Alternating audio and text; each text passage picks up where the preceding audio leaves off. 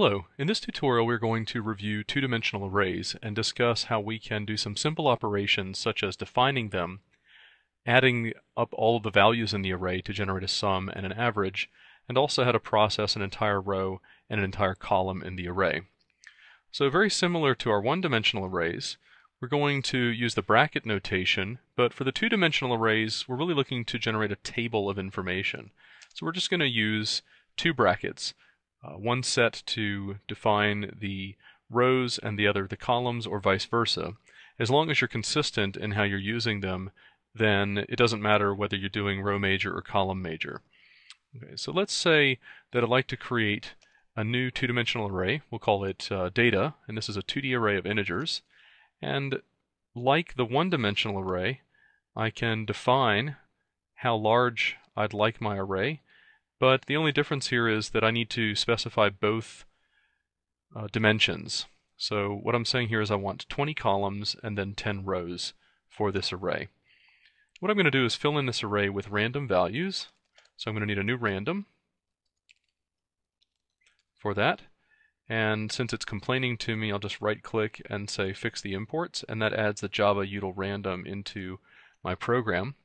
And then I'm going to use a loop structure to fill in the two-dimensional array that I'm calling data.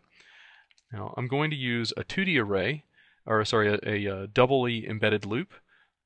The first, if I wanted to go across all of the columns, I could simply write a for loop like so. But in addition to going across all the columns, I want to also go across all the rows. So inside of this outer for loop, I'm going to need to specify that I have a row and I've got 10 such rows based on my definition here. So I've got 20 columns and then 10 rows. And then I can just say that the data of the column of the row is equal to r dot nextInt and let's specify that we want random integers between 0 and 9. Okay, so at this point we have the array defined and then we have a for loop and then another for loop inside of that that's going to fill in every single cell in this two-dimensional array with random values. Now let's uh, display the array. Again, I'm going to need to use a two-dimensional for loop and now the work I want to do, rather than filling in the value within the column row cell of data, I want to do a system out print on the data of the column of the row. We'll add a space there. And notice I'm using the system out print because I want all of my values to display adjacent to each other on the same line for a single row. And then to go down to the next line, I'm just going to do the println to get me down to the next cell, or the next line in my output. Okay, so let's run this and see what we get. Very nice, we've got our values here randomly placed into the array. Uh, there's a bit of an error here though, and I did this intentionally just to drive the point home that we need to think about how we're accessing and dealing with the array. Notice my outer loop is going across the columns, and I have 20 of those. So in fact, every single line is a column. I've rotated the array by 90 degrees. So I can fill it in either way, but when I want to display, I need to go row by row in the display. So let's invert these. I'm just uh, cutting and pasting. Okay, and now I'm going to go um, row by row in the outer for loop and then column by column so that the entire row will be displayed across here before we go down to the next line. And if we run now, what we'll get is 20 columns and 10 rows of random values. Very good. Okay. Well, let's actually extract this because I'm doing a couple of different things inside of main and I'm going to make use of this ability to display an array. Let's create a separate method. I'm going to call it uh, display array. and it's going to take in a two-dimensional array. I'll call that data. Okay, and then I'm just going to pull out this information that I've got here, this code that I've already written.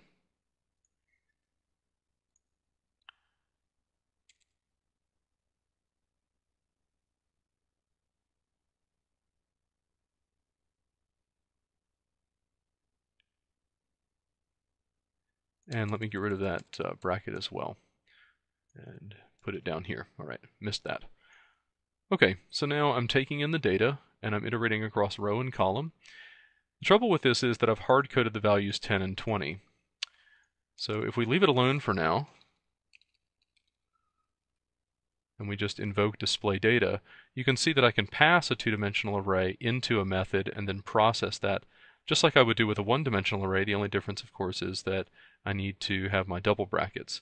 And if we run, we get the exact same output, albeit the numbers are different because they're randomized, but everything seems to be working okay. The trouble with this that is that it presumes that this data array is a 20 by 10, and there's nothing that says that we have to uh, use a 20 by 10 array. So we can actually count the columns and the rows by using our length property. And you'll notice what I'm going to do at this point is use the length property of data to determine how many columns I have and the data sub zero dot length to determine how many rows I have. So the data dot length is going to return me the dimension of the total array. In this case, that would be 20. And the data sub zero is actually a singly dimension array. It's one of these 20, and it's going to tell me uh, in this case, if I say data sub zero dot length, it's going to tell me how many rows I have, or what's the dimension, or how long is the uh, the first entry in this 2D array. So you can think of a two-dimensional array as nothing more than an array of arrays. That's exactly what the notation is showing here, and we can process it like so and use the length command to determine, uh, or the length property to determine how long the array is. So now there's nothing that's uh, setting this up as a uh, 20 by 10. This could be any sized array, and this method is going to work. So if we run this, we get the exact correct output that we would expect, but our method is nice and versatile now. We can pass it any array that we'd like. Uh, to prove that point, let's create another integer, and I want to say uh, define this actually with hard-coded values.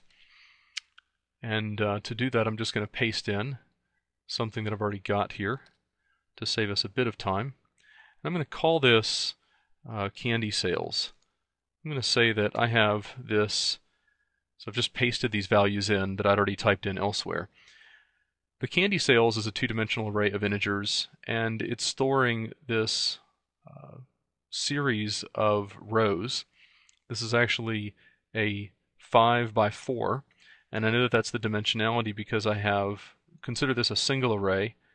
Notice the candy sales starts and ends here. And like I could initialize a one-dimensional array, I can initialize a two-dimensional array.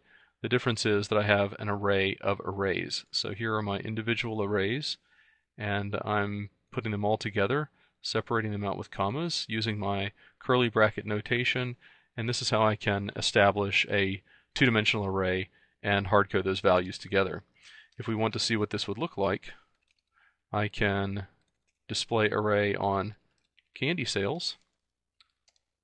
And let's just do a system out println on that just to separate them. And if I run this, what we get is our original 20 by 10, but here now we have our 5 by 4 as well. And it shows the values that I initialized with. So this shows you how to define an array and initialize the values all at the same time.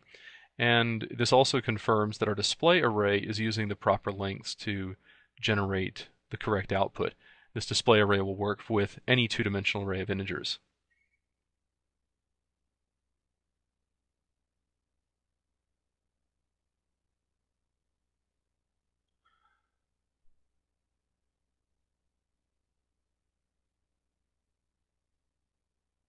So if we assume that this candy sales information has sales information about, uh, let's say, four different types of candy bars.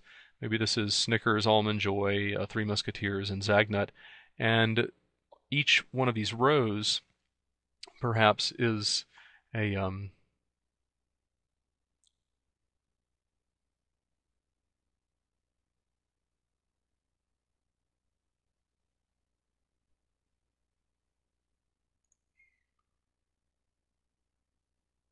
Now if you stop and think for a moment and look at the output of this 2D array and the initialization of this 2D array, you'll notice something interesting. It looks like we're defining a single row here with four columns, and there would be five such rows, but the output indicates that we have five columns and four rows. This is because the first dimension of the 2D array definition is the columns. That's what we're using. And the second would be rows by the way that we're processing and displaying things here. Now, if that's the case, then the dimension of the columns should be 5 because I have 1, 2, 3, 4, and 5, and that's exactly what we get here in the output. So again, just be sure that you're careful in, even though it might look like this, 50, 90, 40, and 33 is 50, 90, 40, and 33. This is a single column, even though this looks like a single row. So be sure to define these differently if the output you wanted was actually four columns and five rows. With that said, let's actually do something interesting on this candy sales 2D array. Let's assume that we have five different types of candy bars and maybe four different states. So this might be the 50 might uh, 50 90 40 and 33 might be the sales of almond joy and 20 10 15 and 19 might be the sales of three musketeers and the first row might be Georgia, the second might be Florida, the third might be Alabama, and the fourth might be Tennessee. So let's say we've got all of these different sales information, and I'd like to know how many total candy bars we sold. Well, no problem. We can do a two-dimensional for loop, but let's go ahead and, and set this up as a separate method. And I'm going to return an integer here out of this. I'm going to take in a two-dimensional array and I'll call it data. Okay, so we'll call this method getSum, and it's going to return an int. And I'm going to just do a loop. Let's go ahead and uh, copy this, we've already got the structure there for this. We're going to have an int sum that I'll initialize to 0. And then for every row and for every column, the work I'm going to do is simply to say that the sum is going to be increased by data here at column of row. Okay? And then at the end of my loop, I can just simply return the sum. So a real simple function. It initializes, it takes in a two-dimensional array. It then initializes a sum and does a two-dimensional for loop across all of the cells and it adds up the values into this sum and then it just returns it. So if I wanted to, I could do something like system out uh, println total sales is equal to, and let's say we've got total sales variable here. And we'll say total sales is equal to getSum on candy sales. Okay, so candy sales is our array. Total sales I'm going to store. And then I'm just going to display this out. Okay, great. So here's our candy sales. I'm going to display that out. We'll then get the sum to figure out how much total sales, or just the summation of all the values in the array. And uh, then we'll just print this back out to the user. So if we run, we'll get that the total sales was 1,007, or maybe this is in millions. So we sold a billion candy bars or some such thing. Not bad. In addition to generating a total sum by adding up all of the values, we can also generate a summation across a single row. So let's modify our display array to do that. Okay. And let's add the ability to calculate the sum across a row. we'll initialize our sum to be 0 inside of our outer loop. So for each row, I'm going to initialize sum, and then the work, in addition to displaying, I'm just going to increase the sum by data of column and row, just like I did before in this previous summation. But now I'm not doing a summation across an entire array, I'm doing a summation across a single array. Not, not both dimensions, but just a single dimension. And when I do the println here, I could say something to the effect of the sum is equal to the sum. Okay.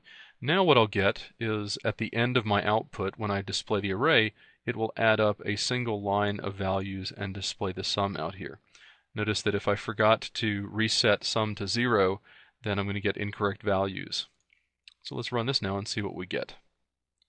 Okay, we scroll up a bit, and if you add up all of these numbers, you should get 62.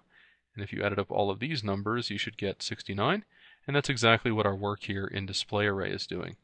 We can also see that since we modified our display array and we're displaying our, not only our random 2D array, but also our candy bar sales array information, we can see that we sold 252 uh, in, let's say, Georgia, 260 in Florida, 271 in Alabama, and 224 here in, I think we said Tennessee for that last. And if you add up this entire, uh, all of these sums, you should get 1007, which is the overall sum. So 2 plus 1 and 4 is in fact 7, and 5, 6, and 3, and 2. We carry, looks good, looks like it's working out nicely. Okay, very good. The last thing I'd like to do is modify my display array to not only display the sum across a single row, but let's take the average of the columns and display the averages down here. Okay, let's just extend this out. So after I display my array, let's do a system out println and just create a kind of a nice bar here at the end. Okay.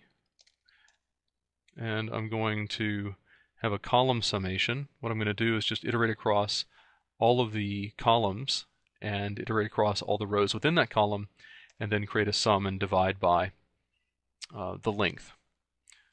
So we'll need our outer loop is going to be across the row again.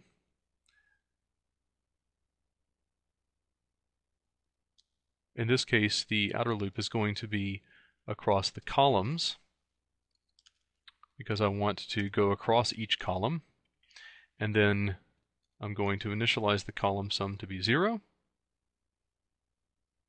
and then iterate across all the rows. So this is going across the columns first and then the rows, whereas in my earlier 2D loop I had rows and then columns. The reason for this is that I need to sum up the columns. So this is just increasing column sum by the cell that I'm visiting and just go down a particular column row by row and adding that up. As soon as I'm done with that, I can then display my column sum divided by data sub 0 dot length, which is going to give me the height of my 2D array. So this is the number of rows, which is what I want to divide by to get the average. And let's just add a space in there. And when we're done with this, we need to go down. Right. So, uh, nope, I was right the first time. Outside here. So we're going to go across all the columns and calculate the sum and then divide by the height and that's going to give us the average. We're going to print those out and then when we're finished printing out all of our averages here we're going to go down to the next line. Alright, let's run this and see what we get now. If we scroll up, you see that we've got our random array. We still have our summation across a single row. And if we look down the column here, there's 3 and 2 and 6 and 8 and 0, 5, 4, 2, 2, and 4. The average of that would be 3. Uh, remember we're doing integer division, so we'd get a rounding there. We could do the same per, per row. All of these averages should work out. The next thing I'd like to do is show you how we can generate and return an array from within a function.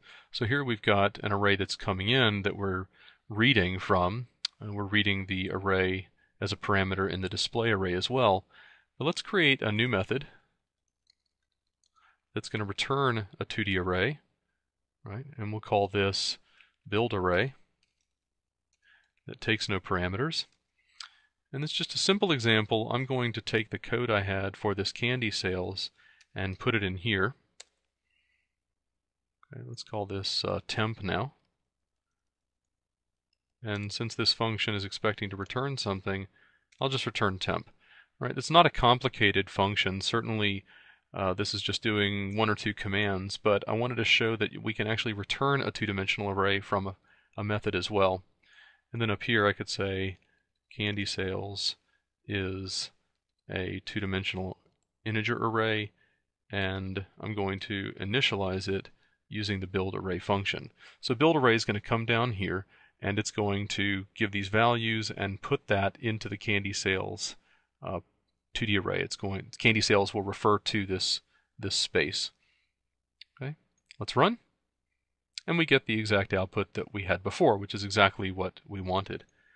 The intention here is just to show that we can return a 2D array from a function. Okay, at this point you should understand how to define an array, a two-dimensional array, using a 2D for loop, be able to initialize that array with, in this case, random values. We can pass 2D arrays into methods. We can also take and uh, get 2D arrays back from methods and we can initialize 2D arrays very similar to our one-dimensional arrays using our curly bracket notation. We've got some examples on how to calculate the overall sum as well as individual sums across uh, a single row and how to generate the average across a single column. I'm going to highlight all of this and actually replace it with some other code that I have here that's a bit more complicated but it demonstrates these same principles in a really nice way. So let's look at what I've got here. Now, I've got a one-dimensional array called states of type string, and this is going to be useful for me to display some information. So all of the 50 states plus DC is in this, so it's actually a 51 uh, dimensional array, or a 1D array with 51 entries. And here's the two-dimensional array of integers that discusses purchase data uh, again for the candy bar sales. So here I've got four different kinds of candy bars and sales data across the 51 states in DC. Nothing new here, it's just more, more data, but still an initialization of a 2D array like we just saw. I'm going to use my formatter so that I can display in really nice columns in my text output. And I'm going to display some a, uh, a horizontal line essentially here and then iterate across all of the states, all 51 states in DC, and then iterate across all the product lines. So this is going to just display the state, which will be a the first column in my output, and then this row, or this for loop, is going to display the next four columns, which would be the purchase information. They're just displaying out how much sales were done.